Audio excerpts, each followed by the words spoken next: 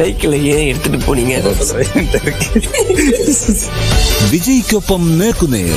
ഒരു ദശാബ്ദത്തിന് ശേഷം ദളപതി വിജയ് ടെലിവിഷൻ പ്രേക്ഷകർക്ക് മുൻപിലെത്തുന്നു. സംവിധായകൻ നെൽസന്റെ ചോദ്യങ്ങൾക്ക് മറുപടിയുമായി.